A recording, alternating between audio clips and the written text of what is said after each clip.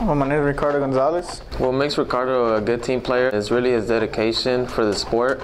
He communicates with everybody and like he gets along with everybody on the team, with the coach.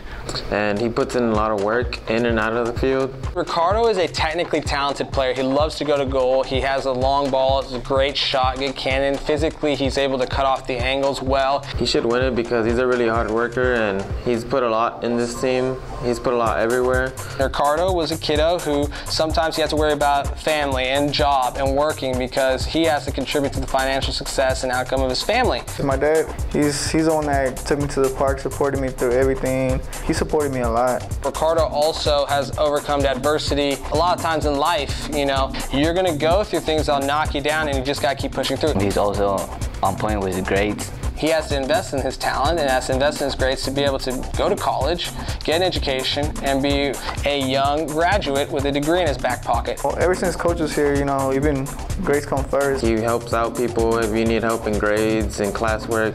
Matter of fact, 22 out of 25 people made the honor roll this this six past six weeks. So he's a hard worker. He focuses on the field and on his grades.